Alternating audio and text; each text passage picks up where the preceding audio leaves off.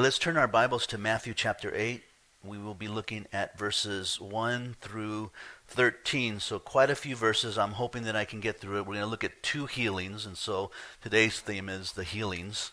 We're going to look at a leopard who comes to Jesus and he requests to be healed. And we're going to look at a centurion who, who comes to Jesus and requests that his servant be healed. So, two different situations of faith where the leopard had to have the faith to come to Jesus and Jesus healed him. And then the centurion had to have the faith for his servant who had no real faith involved there, and Jesus healed him. You know, the first step to salvation is always the awareness of one's sinful state. Uh, there's a sense of being dirty of sin. That is really the first step, our depravity. Realizing that I am really a sinful person. I don't love God the way that I'm supposed to, uh, with all my heart, with all my strength, all my mind, all my body. I, I don't keep holy the Sabbath day like I'm supposed to. Uh, I take his name sometimes in, in vain. In vain means I make his name worthless, and so I use it as a swear word, or I'll use his being as a form of my personal expression uh, of worthless vain things, or I don't always love my neighbor like I love myself. And so I realize that I fail quite often, and that I am a sinner, and I've fallen from God's grace and His love, and I really don't deserve Him. And if I were to ask for justice on anyone else, then I would also receive justice, and I would be condemned just as well. And when we realize that, God then can begin to work in our lives. But we have to really keep that at the forefront of our minds that we're dirty and we need to be cleansed. Jesus gives that picture of Peter, right, in the upper room. You know, let me wash your feet. And Peter's like, no, no, no, Lord, my you don't need to wash my feet. Don't touch my feet. You know, and Jesus says, hey, I need to wash your feet. I've cleansed you, but you need some cleansing in your life. So after Jesus' very clear details there on the Sermon on the Mount from chapter 5 through 7. He now moves on to a, a fast moving pace uh, in healings and in miracle stories here from chapters 8 to 9. And so we're going to be looking at those two chapters uh, these several weeks uh, from now. And we're going to look at the stories of miracles that God does have the authority, He has a power. Uh, to perform miracles and um, healings in the lives of his people. We find here, as Matthew has been presenting Jesus as the king, that this king that is our king, that he does have power. He does have strength. He does have the ability to heal to forgive, and we can really trust in him for that. When we look at chapter 8 here, verses 1 through 17 show that Jesus is a powerful king, and he came to take our infirmities, he really has, and to heal us. And in verse 17, uh, what he says there is that it's not by, it is might that it might be fulfilled, which is spoken by the prophet Isaiah, saying, He himself took our infirmities and broke or bore our sicknesses. And then verses 18 through 34 shows his power over uh, nature and the spiritual. Now remember that in chapters 5 through 7, Jesus declared the principles of the kingdom of God, and we really should go back there and learn those principles and how we should, as believers, live by them. But in this chapter 8 through 9, he will show us the evidence of his power to banish sin and control the elements of nature. You know, there is no sin that God cannot forgive. There's no sin that God cannot forgive. God can forgive you of every sin that you have committed. Every sin in your mind, He can wash it away. That's how great His grace is in your life. You can go and sin willfully against God and come back to Him and humble yourself, and I mean in true humility, and ask God for forgiveness, and the forgiveness will be there. You can go out and literally kill someone out of anger or rage or frustration and in true humility come back, suffering the consequences, ask God for forgiveness, and while you're in prison for the rest of your life, He can really forgive you. There's no sin that He cannot forgive. Um, don't think or don't believe the lie of Satan when he tries to whisper in your ear that that's too great of a sin for God to forgive. and that you're a sinner and that you're worthless and there's no use you continuing to try to follow Jesus because you just continue to fail after fail after fail. No, God can forgive you if you come to him and ask for forgiveness. So remember, Matthew is writing about a king with power. We saw that in chapter 1, his ancestry through his genealogy.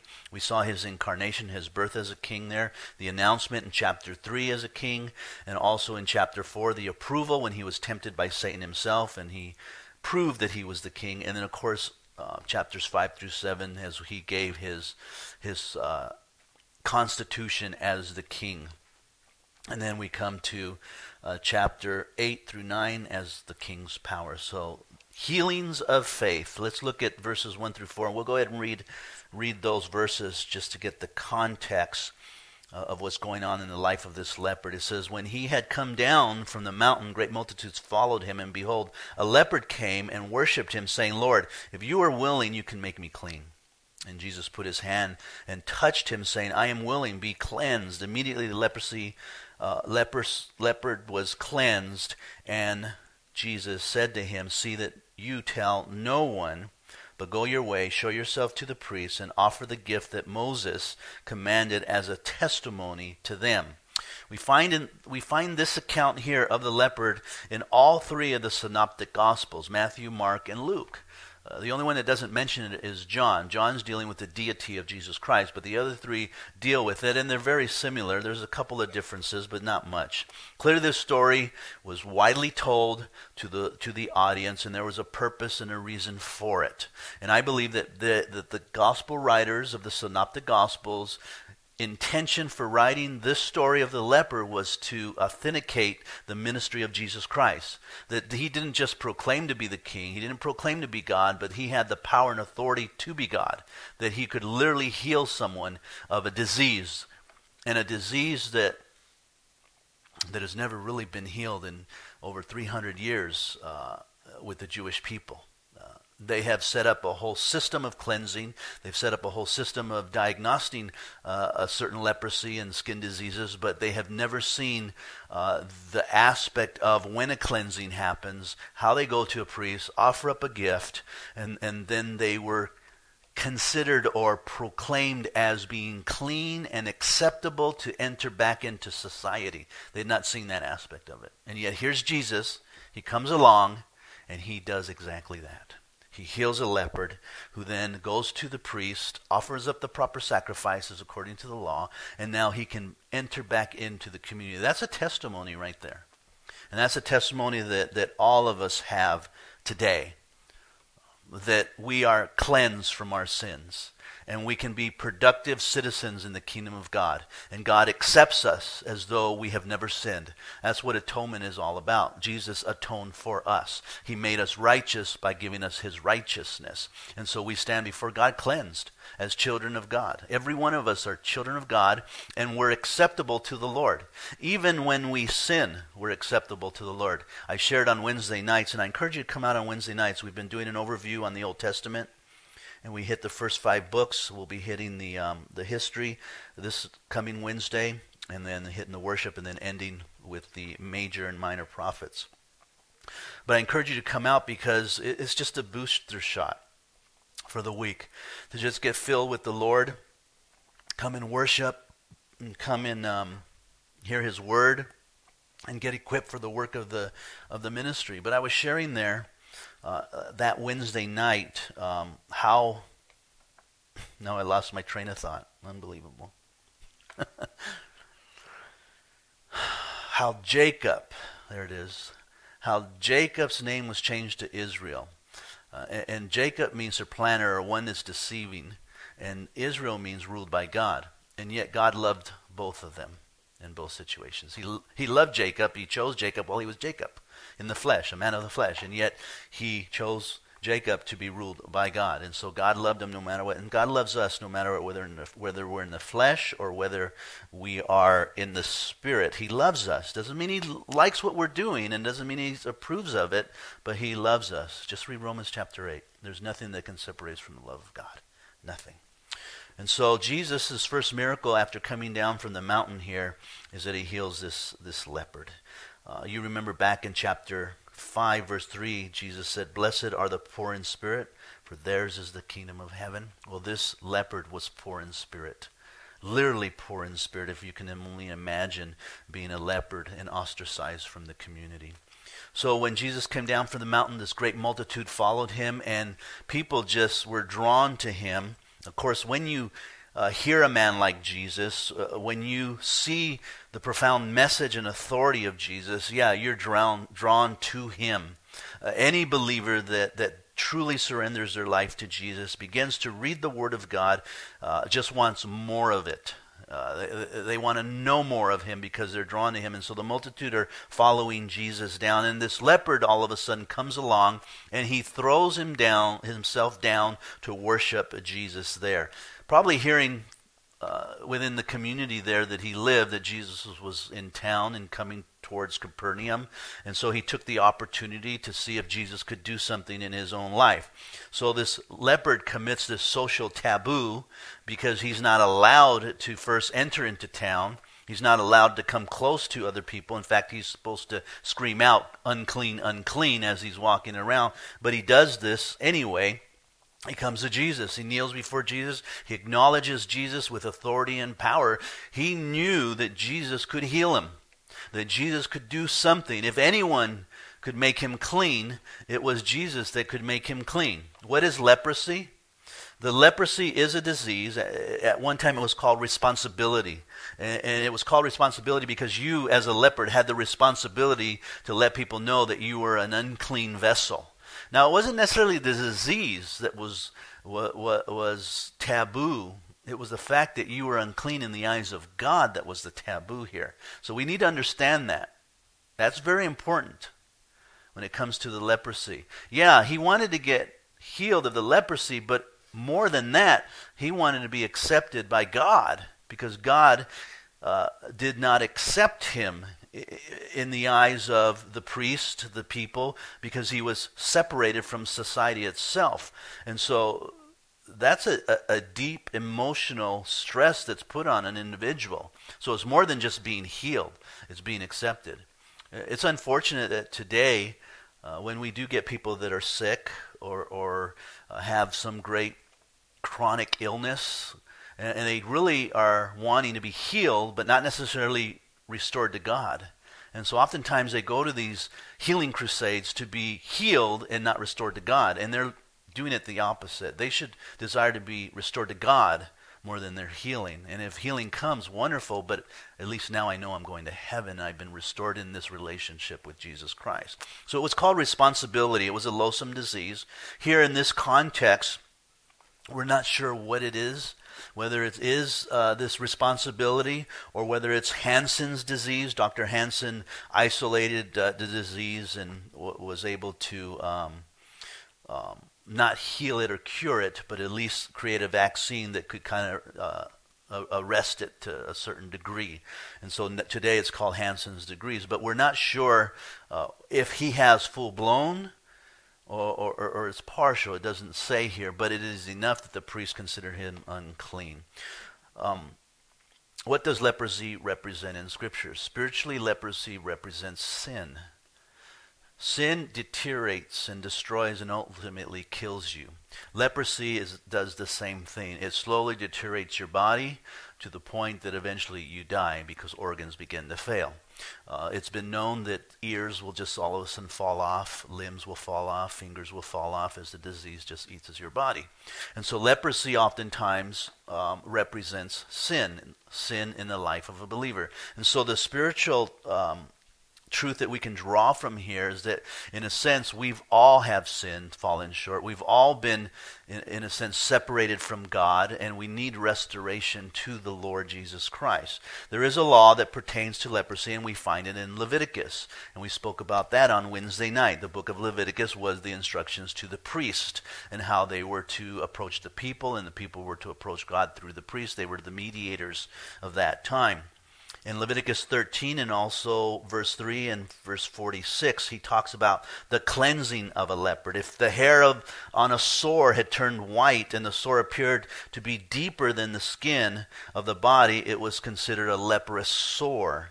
Uh, he is unclean in verse 46, and he shall dwell alone, it says. His dwelling shall be outside the camp. You can also find in, in Deuteronomy 24 8. And this was the prescription of finding somebody with leprosy. How did leprosy affect the people? It was the custom in handling the leprosy at that time to create an area or a camp, and this would become the leopard's community, the place where he would dwell with other leopards. And at that time, if they were to leave that camp, as I said earlier, they would come into contact with people. If, if they were coming kind of downwind from that person, then they were supposed to shout out, unclean, unclean within 150 feet. If they were uh, upwind of that person, it was like 300 feet. They were to let them know because they felt that it could be contagious in, in, a, in a sense. So you can only imagine the loneliness that that leopard probably felt, right? One is that family did not come and visit all the time, but maybe just to bring some resources left them there at the gate. Uh, they were alone. They were without anyone. Uh, other fellow leopards probably, um, but felt like they could not enter into the community, could not participate in the temple, could not participate in the Jewish customs and so forth that, that uh, were appropriate in maintaining that relationship with God, the offering up of sacrifices. Uh, on top of that, the emotional stress um, that they probably had endured. And so that's the story here of this leopard, of loneliness. There's a story that during the 1995 Chicago experience, a severe, uncharacteristic heat wave, uh, which expected heavy tolls, uh, found hundreds of people who had died. Tragically, many who had died there in Chicago had no family or no friends. No one claimed them whatsoever. In fact, 41 people were buried in a massive grave as unknown. No one to grieve them, no one to uh, lay flowers before them. They were just thrown into this grave. That's loneliness. That's loneliness. They say that Americans today that eat dinner alone is about 22%. Going to dinner and eating alone. I, I don't, that's hard for me to do.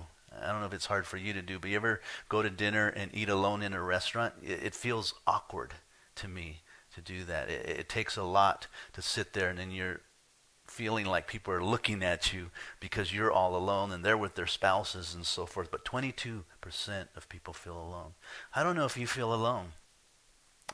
If you do feel alone, you know, Jesus loves you. And he wants to have a personal relationship with you. And this is what I love about Jesus. He takes people who feel alone and, and he becomes their friend. He becomes their God and Redeemer. And then he introduces them into the family of God. And then all of a sudden they have a whole new family. Yeah, they might not be blood related, but they are spiritually related. And we create a family. We are a family. Whether you like it or not, you know, we are a family. And what you do, what I do, affects the family of God. It really does. And we are to live as a family. And that means to love one another, care for one another, be there for one another. And it also means to fight with one another, disagree with one another, uh, throw tantrums with one another, not talk to one another from time to time. That's all family stuff. But we realize we're a family and we're going to stick this out because that's what families do. Nearly a quarter of the nation experiences regular levels of isolation and loneliness. A quarter of the nation. A quarter. There's over 300 million people in, in America. So a quarter of that are feeling that loneliness. It was Mother Teresa who said, The most terrifying poverty, poverty is loneliness and the feeling of being unwanted. And so this leopard comes and he worships at the feet of Jesus. He, he acknowledges Jesus. He recognizes his power. And he says, Lord, if you are willing, you can make me clean. Now, there's, there, there's the word of faith right there. When he realizes, Lord, if you, you who I acknowledge as, as God with power and authority are willing, I know that I can be clean. Clean. Now, again, the emphasis is upon the restoration of his relationship with society here, not necessarily in the leprosy. It's clean in the sense that I can now be reintroduced into society. You can take my condition and you can correct it. What is faith? Because this man had faith. Uh, the leper's faith was faith in Jesus' power to make him clean. You might have heard this before, but some people in the community will talk about faith on TBN, channel, well, whatever it is today with cable, you never know, 13 today or 14, somewhere around there. It used to be channel 40. When you say channel 40, everybody knew that was TBN. Today, it changes on your cable um, network system. So but these men talk a lot about faith and having faith, uh, having enough faith that you can change your destiny, whether it's a healing, a miracle, or whether it's financial status. Now, it, it is incredible that this leopard who was diseased would believe that Christ could remove, I mean, this disease because he was going by what he was hearing, what Jesus was doing, and what he was saying and he had enough faith. And of course, the Bible tells us in Romans that the faith comes from God, and that God gives us that faith. And he had enough faith to go to Jesus and exercise that. Now, it was Stuart Briscoe who said faith is as valid as its object. The faith teachers will tell you if you have faith in your faith, then you can get things done. Well, that doesn't make any sense at all because faith doesn't get things done. It's who you have faith in that gets things done. If you have faith in your faith, if you have faith in yourself, if you have faith in the church, if you have faith in man, if you have faith in the government, uh, you you don't know if it's going to get done or not. It's only by as much power as they have and authority, and it's very limited. To have faith in faith, nothing will get done. What you're saying is, my faith is so strong that I'm actually the one doing it because of my faith. And that's not true. But to have faith in Jesus, now that's power and that's authority because Jesus has all power and authority. He created the heavens and the earth and everything that existed. He divided the waters. He brought manna down from heaven. Uh, he's the one that's going to heal the leopard, heal the servant of the centurion. Jesus walked on water. That's power. That's the power and the resources that we need to go to is to Jesus himself. You can have tremendous faith in faith, but very thin ice and you'll drown. Or you can have very little faith in very thick ice and not drown. I like what George Mueller said. Faith does not operate in the realm of the possible, though. It, it operates in the realm of the impossible. You can have faith that, that your job will take care of you, and that makes perfect sense. But having faith when you lose your job that God will take care of you. Now that's power. Because your job will take care of you. It's run by men and you're working for men and there's a certain responsibility that they have to pay you on a regular basis so that you can s- supply the needs of your family. But when you have nothing and no one is hiring you, how is God going to supply your needs? That's having faith in God. And then God pulls through and he supplies your needs.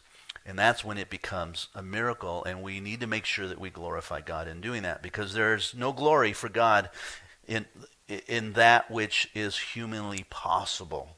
If there's a, a, a percent of human involvement, then there's no glory for God. that's why building the church is so important. That we realize that it's not us who builds the church, it's God who builds the church. And he's very clear in telling us that in Acts chapter 2. It's the Lord who adds to the church daily. It's our responsibility to share the gospel, uh, to share, to plant seeds, and to water, but the Lord gives the increase. And so to have faith more than anything else, not in me, not in you, but have faith in God. And so our prayers should be Lord, you add to our church. You bring people. You bring men that are committed, that have a desire and a hunger to serve you, that understand the scriptures, and that want to apply them to their lives. Bring women that have the same drive, the same love as their husbands, that desire to do a work for the kingdom of God. And these are the things that we should be praying by faith to God that He would do. And faith begins where man's power ends. So, when all hope is lost in man's way, why not come to the feet of Jesus, worship Him, because he is more than willing. So Jesus put out his hand and touched him and said, I'm willing. Be cleansed. And so immediately the leprosy left him. He was cleansed, which again demonstrates Jesus' authority over sickness and disease. And Jesus said to him, See that you tell no one. I like that. Simple command tell no one. Go your way. Show yourself to the priest, which was his responsibility. Uh, to do so, he was supposed to give a gift to the priest. Uh, like in the Levitical law, and it was usually a turtle dove if you were poor. If you were well off, then it was a sacrifice of a lamb and some flour and other things that you were to give to them. But the testimony was to show them that you are healed and you're healed by God, and you're giving a sacrifice unto the Lord, giving Him glory for it. You can find that in Leviticus 14. Now it's interesting, though, that, that this testimony, because it was a testimony to them, who's them? The priest. And so this man obviously didn't obey Jesus. he was so excited that he, on his way to Jerusalem, because he had to go to Jerusalem to offer up this gift and let the priest know that he's been cleaned. And, and, and on his way there, he's telling everybody, Jesus healed me. I used to be a leopard. I'm now a leopard no more. I, I used to be in a camp. and I'm not in the camp no more. I used to have to scream out, unclean, unclean. Now I can just rejoice like everyone else. And he's just telling people all along the way. And this is how the crowds began to grow around Jesus. Because men like him didn't obey him when it came to proclaiming uh, the good news of Jesus in their lives. Uh, we should be like that man. We should be proclaiming it to our neighbors and our friends. We should be inviting them to church. We should be uh, kneeling down with them and praying with them and, and, introducing them to Jesus Christ. Now, the next healing is the healing of a centurion uh, servant. We're not going to read the whole thing because you just don't have the time. And as I said, there's a lot of scriptures for 45 minutes. Um, this healing is a healing of a slave, a slave of a centurion who um, is a Gentile. And that's the significance of this healing. Uh, not just that it was the faith of this Gentile for someone else, but the fact that he is a Gentile. This is the beginning of Jesus introducing the gospel to the Gentile nation. Uh, we find that he extends his mercies and grace not just to Israel, but also to the rest of the world, the Gentile nation. The, the word Gentile itself it's a Latin word, it's not a Greek word. The Greek word is nations and people, other than the Jews. That's all it is. So when it says Gentiles, it's everyone else that isn't a Jew. That's all Gentile means. And so the gospel is going to the Gentiles, and he begins by healing the servant of this centurion soldier. Now, back in chapter 5, Jesus told the disciples, Blessed are those who mourn, for they shall be comforted. And this centurion soldier, which is interesting, he mourned for his servant. Uh, I find that more employers should mourn for their employees. They should love their employees. They should take care of their employees. Peter spends some time there uh, with bosses, masters, and servants and how they should take care of their employees and not have this callous, cold relationship. We have to let you go because it's business. Don't take it personal. Well, I take it personal because I can't feed my family because I can't t- pay my bills. And so it is personal to me. And that's a famous phrase that we battle with in our society. You've heard that phrase before, haven't you? You've probably heard it in movies too. You know, and then the guy says, "But I do take it personal." And then he blows the guy away.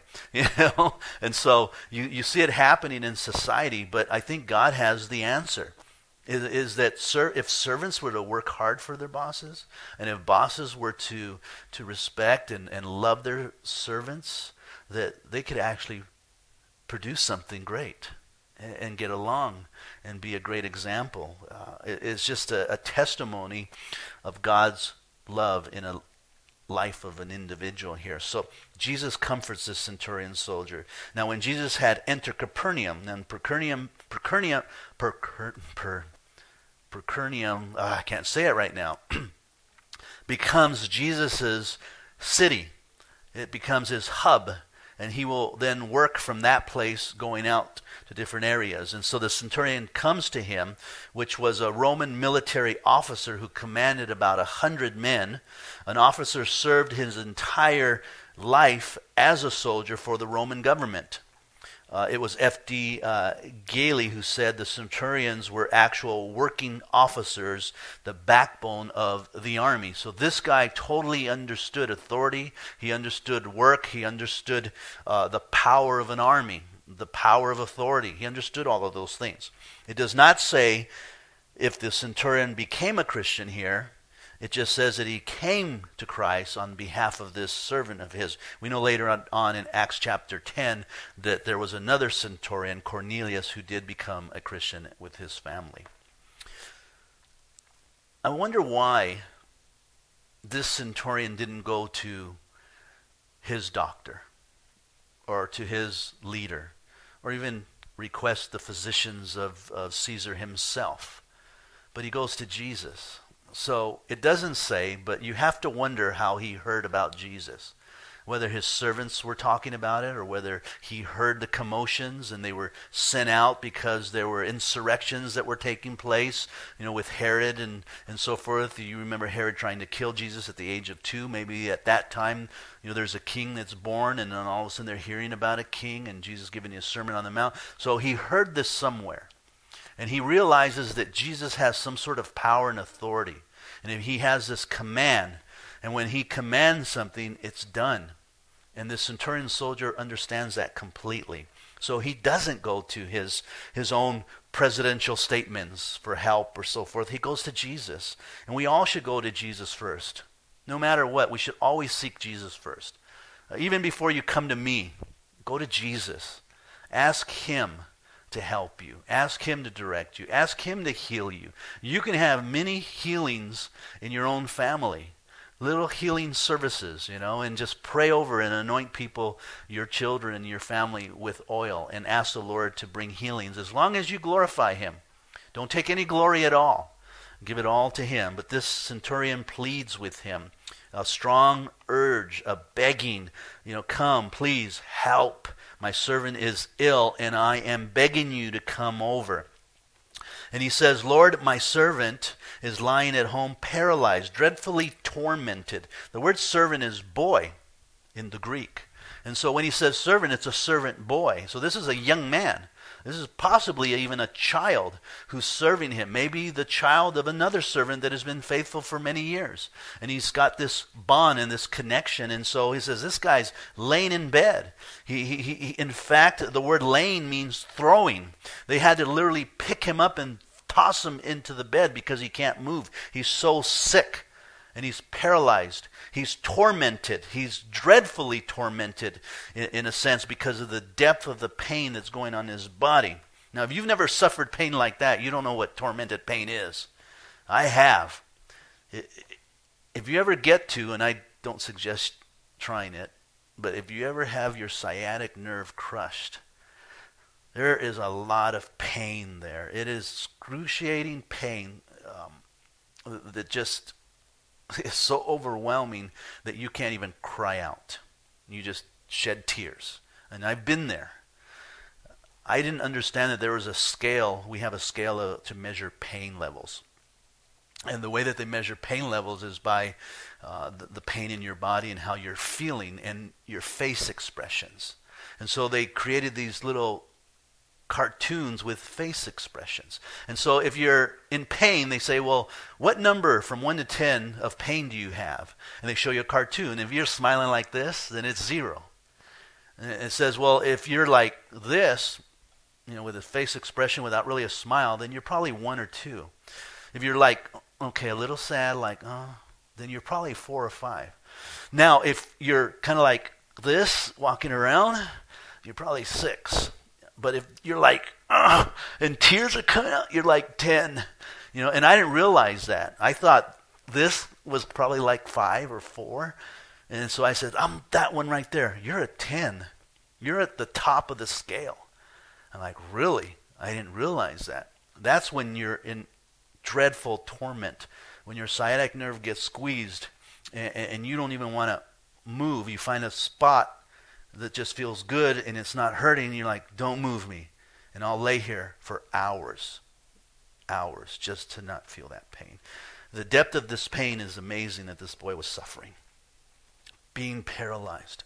And so he brings Jesus this disabled, weak um, request of a boy uh, that he would heal him. And Jesus said to him, I will come and heal him. And the word I there again is emphatic. So Jesus is saying, I will. And so it, it, was a command with authority that he is going to come and heal that boy. And of course, the centurion answers and says, Lord, or Master. Uh, and now he's humbling himself. He's surrendering to him, giving him authority. Lord, Master, I'm not worthy that you should come under my roof. There is the realization of your unworthiness right there. I am unworthy for you to come under my roof. Now, as a centurion soldier, you have to have a positive attitude. You have to have authority. Uh, you're commanding a legion. You're commanding men. For you to show weakness whatsoever, you know, would not be a, an advantage to you, especially on your man's side. And so you never would do that. Oh, we can do it. You know, don't dare come to my house. You're just a subordinate. I am the leader. You know, you have boundaries, you have lines. You dare not cross that line. But here he says, Master, I'm not even worthy for you to come to my home. How many men have felt that when Jesus calls them? I'm not worthy. What have I done to be so unworthy? The men that I have hurt, the women that I've hurt, the words that I've said, the sin that I've committed against God, the destruction that I've done in people's lives what I've taken from them that, that wasn't mine to take, what I've caused them to go through. Lord, I'm not worthy. I'm not worthy for you to even come into my home. I'm so dirty. I'm so unclean. Lord, there's just no way that I even ask you to come over to my house. If you have a messy house, you know what I mean. You don't want people coming over. Oh, no, no, they're going to see the messy house. Don't, don't invite them. Why did you invite them? What's wrong with you? I didn't even have time to clean the house. You know, totally, totally understand. That's how we felt. No, Jesus, don't come to my house. I'm a Gentile centurion soldier. No, no, I'm not even a Jew. And you want to come to my house? Please don't do that. Only speak the word. Ah, here we go. Just speak a word, Lord. A statement of faith here. Just speak the word, Jesus. Notice he didn't say, on my faith, Jesus, heal him. No, he didn't say that. Or on his faith, Jesus. No, just, Jesus, you just speak the word because I know that you can. He expresses belief, not only in Jesus' authority over sickness and disease, but also over time and space. You don't even have to come to my house. You don't even have to be there to lay a hand on him. If you just speak it, I know it will be done. Same's true today. Jesus doesn't have to come down and visit us. All we have to do is ask. And if it's his will, he'll heal us. Doesn't have to be here. I know my servant will be healed, he said. He felt unworthy, and this is exactly where God wants us. He wants us in a place where we feel unworthy. It was Layman, commentator, who said, I am no better than a thief, a prostitute, or an adulterer. But in the same way that I resist adultery in the name of Jesus, I can appeal to my Savior in time of need. I like the example that Rich gave us the other day of a chart. He says if we were to measure all our our sins, you know, just let's just put it on the screen there. And we put all our names at the bottom, and we have a little flow chart, and, and maybe we, we'll see a little push up there and we'll say one through a million sins, right? And some of us might be, you know, maybe up a little bit, and others might be way up there, you know, and the others might be halfway, and we're like, okay, I can see who really is the sinner right there. Oh boy, look at that guy's up to a million there, and the other ones are down at 500, you know, so forth. And that's our view. That's our view. We're all sinners. But you know God's view? If you turn that graph upside down, he doesn't see anything. It's all going down. You're all sinners. That's all he sees. You're all sinners. Every one of us are sinners. It was Martin Luther who said, If all thieves were to be hanged from a gallows, the world would soon be desolate and would be without both executioner and gallows. right? Because we're all guilty. We're all guilty. If Christ had to come to this earth, if you were the only man, the only man, he would still come for you. And you'd have to be the one to crucify him on the cross for your sins. For your sins. No, we're all unworthy, guys. oh, how we need to understand that when we make our judgment calls on one another. Oh, I totally get that completely. That we're all sinners. We all fail God. And we need to be patient with one another. Notice what the man says in verse 9. For I, and it's an emphatic in the Greek again. He's just emphasizing himself. Uh, he's already humbled himself and realized he's not worthy, but he says, But I also am a man under authority, having a soldier under me. And I say to this one, Go, and he goes. And to another, Come, and he comes. And to my servant, Do this, and he does it. So he totally gets authority. And, and that's authority, and that should be authority. That's how authority works. Not in our day and age, though, does it? We buck authority. We don't like authority. We'll fight against authority. Um, the boss says do this. And we're like, well, why do I have to do that? No. Well, you work for me. this is my business. I'll do it the way I want to do it. And as long as I'm paying your check at the end of the month and signing it, you're under my authority. Simple as that. Oh, but uh, well, then go get another job, right? That's how it should work. He understood that, and he understood it is a principle throughout life, and it should be followed, whether in church or outside of church. God is our authority, and then Moses, and Moses chose men to take his lead, to obey his commands, and to get things done. Jesus did the same thing. See, the centurion was a commander, but he had commanders over him just as well. He had authority, but others exercised great authority over him than he did. So even he was under authority by Caesar himself. See, all authority in the army was what? Vested in who? The emperor. He was the main man. He was the one that was really in charge. So that the centurion was subject to the imperial authority. That's where he ultimately got his authority, was from Caesar himself. So he represents who? Caesar. And when he goes to his men, it's as though Caesar's standing there and he's commanding his men to go forth. Same is true with us. You know, I was in a class years ago, years ago, and it was on the gifts of the Spirit, and this teacher was there, and um, he was the first thing he said was, "I want you to know that what I'm going to teach you is not my opinion. It is Pastor Chuck's opinion."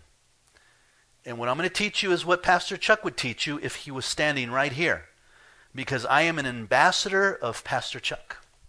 This is his ministry and the work of what God is doing in his life. And so I represent Pastor Chuck as though he was standing here himself. And so what I'm going to share with you is what Pastor Chuck would share with you himself. And I'm, I'm sitting there going, wow, this guy totally gets it. Totally gets it. That's what the centurion is saying here. See, when the centurion gave an order, he obeyed. He was obeyed because he spoke with the authority of the emperor. And they knew if you disobey the centurion, you're disobeying the emperor. So this this man's re- rely reply shows that he had an unusual understanding that Jesus also spoke with the authority of God. See, so he's going to Jesus saying, I understand authority. Even you are under authority of your Father. And there's power there from God. So he acknowledged that Jesus was the Son of God and that his power came from his Father in heaven, and he had all authority. So when Jesus heard that, he just marveled, it says. He was blown away that this Gentile got it more than the Jews. He said to those who followed, Assuredly I say to you, I have not found such faith or greater faith, not even in Israel itself. In all of the world, of the Jewish nation, this Gentile had greater faith than them. Amazing. It blew him away. Of course, the Bible says without faith it's impossible to please him. For he who comes to God must believe that he is, and that he is a rewarder of those who diligently seek him. And the centurion got that completely as he came to Jesus. And so Jesus was well pleased, well pleased with the centurion. And he, and he says, to you that many will come from the east, verse 11, and the west, and sit down with Abraham, Isaac, and Jacob in the kingdom of God. And this is where he includes the Gentiles. He says, Because of this man's faith is an example of his acceptance of me as the Messiah, that in the future many Gentiles will come and sit with your forefathers with Abraham, Isaac, and Jacob in the kingdom of heaven, including this centurion soldier. And you can find that in Psalms 107, uh, Isaiah 49, and Malachi uh, 111. So he's talking about the gathering of the nations. And the gathering of the nations at the second coming of Christ when they sit down to sup with the Lamb of God. This is prophetic. And he's giving uh, us a picture of that time when Jesus will come back and the marriage of the lamb will take place revelation 9:19 but then he says in verse 12 but the son but the sons of the kingdom will be cast out into utter darkness. The consequences of unbelief for the jewish nation. The jews that do not believe who were sons will be cast out into utter darkness. That is hell. That's the implication there. Hell itself. There will be weeping and gnashing of teeth. The word weeping there, you get the idea of, uh, of crying loudly, but there's more of a cry of rejection. So, what the leper felt while on earth will be what the Jews feel eternally in hell separated from God completely, isolated, no one to touch, and they will be weeping and grinding their teeth because of their rejection of the Messiah. They will totally understand and know. That is truly hell itself. And Jesus said to the centurion, Go your way, and as you have believed, as you have believed, so let it be done to you. And so the boy was healed, just as he said. Your servant was healed that same hour. Let me close A little story that I, I read and I thought it was pretty interesting about our president, Dwight Eisenhower. He had a distinction of being the only American president to have been baptized and received into the church membership under confession of faith while in office. Dwight Eisenhower, I didn't know that about him. He received the Lord Jesus Christ into his life. And while in his office, he confessed Jesus. When he passed away, the memorial service in the Washington Cathedral witnessed strongly of his faith. There could be no mistake that he loved the Lord. The simple service, it says, the hymns, the songs by the choir, the congregation, the scripture reading, the prayers, given even the Apostles' Creeds, all bore witness that Ike, Ike's faith was in his Lord. The leaders of 100 nations were present, and they heard the witness. More than that, national TV brought the witness before American people. We were not only reminded of Eisenhower's faith, but of his humility. There might have been much celebrating, pomp, uh, huge ceremony with trumpets and men marching and so forth. But Eisenhower was the commander of an allied force for the invasion of Europe, and he was one of the world's most decorated military men. Many honors had been heaped upon him in life and death uh, and service in his service. And it says that when they planned his burial that he desired to be buried in a regular casket as a common soldier. And so that's what they did, which speaks of his humility. And so, though he was a great man, he was a humble man. First step to salvation is our humility. First step to healing is our humility, that we can't do it. Humble yourselves before the Lord, and he promises that he will lift you up. I want to give you an opportunity. I like to give opportunities, especially when we're going through the Bible and we come to scriptures of healings, for the Lord to just do a healing. And so as I close in prayer, I'm going to ask you to stand up if you would desire healing, and we're going to pray for you. Father, we come before you. We thank you for your word There's power there. Now we understand, Lord, that, that Jesus needed to do these miracles at these times. And in the context to show the rest of the world that he is the Messiah and that he has all authority and power to do so. And as time went by through the apostles, healings kind of diminished a little bit, Lord. Not that they weren't there or they were done away with, but Lord, Jesus already came. He died. He resurrected. He ascended into heaven. And so now we are to receive him by faith, that he is who he said he was, and we have the evidence by looking back at the healings and the power and authority. But Lord, you do still heal. And so we're asking you to visit us today, Lord. If it's my faith, then, then great, Lord. If it's the faith of someone here, Lord, then wonderful. If it's the faith of the person that needs the healing, Lord, let it just be there, Father. But we also know, because we want to get the context of the scriptures, that we know it's according to your will. We know that you're working things out in each one of our lives, and there's a purpose for us to go through suffering. If anything, that we know the sufferings of Christ. Or maybe we can minister to others who are suffering.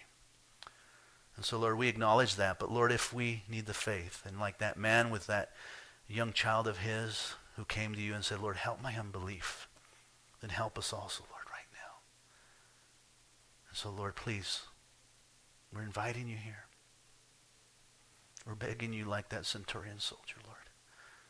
We're asking that you restore us, Father, like that leper, Lord, with a healing, Father, with a touch that you would be willing, Lord, to do so, Lord. And we're praying this, Father, with all our heart in Jesus' name. So if you need a healing, I want you just to stand up.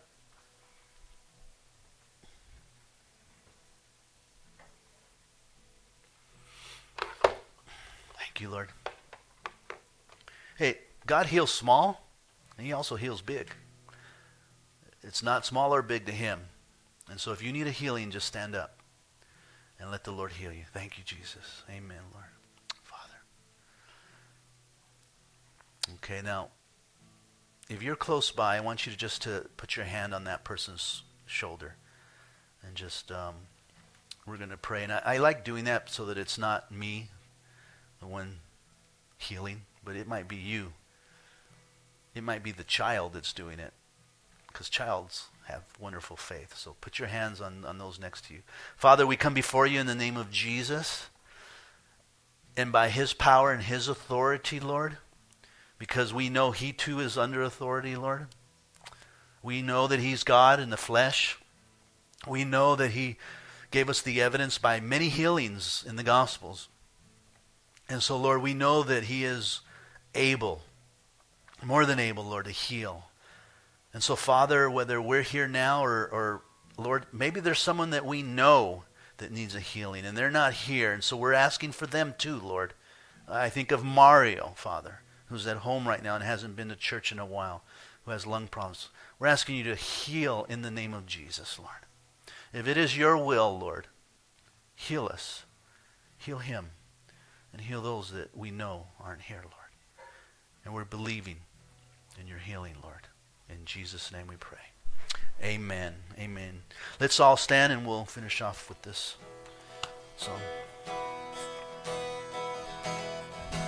Standing here in your presence, thinking of the good things you have done, waiting here patiently just to hear